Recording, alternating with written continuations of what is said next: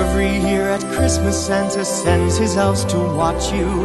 And they go back and tell him who's been bad and who's been good. The elf on the shelf is watching you. What you say and what you do. The elf on the shelf is watching you.